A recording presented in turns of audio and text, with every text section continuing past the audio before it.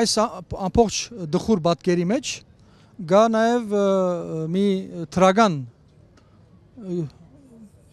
գետ դա մեր դիմանալն էր այս կանդարի պատկերած պատկերացրեք այս այս օրերին բևերի նման ազգային քաղաքարներով դոկորված եւ pedagoganաստեղծ ծրագրով օղակ կոյություն չունենար հայկական կյանքեն ներս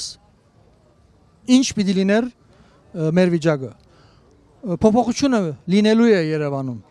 Փաշինյանը անդարագույս հերացվելու է սակայն շատ կարևոր է որ դրանից հետո ինչ պետք է դեղի ունենա եւ այսօր միայն բևերի ներկայությունը ուզեն չուզեն այս արհեստական նույնիսկ քաղաքական ճաշտում ուզեն չուզեն մենք ներկայենք դա ստիպելու է որ այդ փոփոխությունը լինի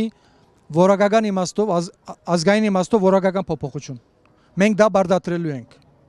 կուզեմ ասել այս ամբողջ դխուր պատկերի մեջ նաև նաև գա լուսավոր գետ այստեղ ինքնակողության խնդիր չի այստեղ դարիների բայկարի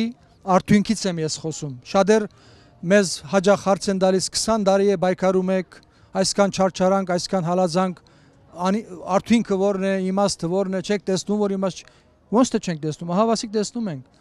ամենամեծ արդյունքը մեր դիմանալն է ամենամեծ արդյունքը այն էր Վահագն որ մի տարի առաջ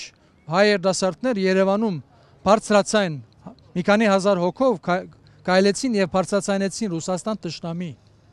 որը 200 տարի է այս այս հողագդորի վրա այդպիսի համարցակություն չեր եղել